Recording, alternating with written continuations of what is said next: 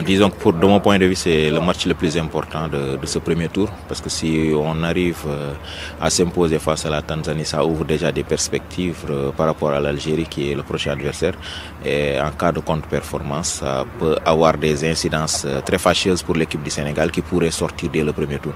Forcément, quoi qu'on dise, il faut gagner ce premier match-là, c'est hyper important. sinon, la tâche risque d'être compliquée derrière. Donc euh, la victoire impérative de mon point de vue face à la Tanzanie ce dimanche. C'est vrai que le Sénégal est considéré comme l'équipe favorite de cette euh, Coupe d'Afrique 2019, même si le coach, l'entraîneur Aliou Cissé a balayé un peu ce statut en conférence de presse ce matin.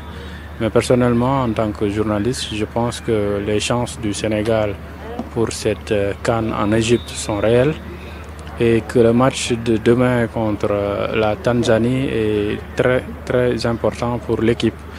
Il faudra assurer, il faudra réussir une bonne entrée euh, dans la compétition en gagnant ou en obtenant, euh, je veux dire, une victoire euh, sur la Tanzanie. Ce serait bien pour la suite de la compétition.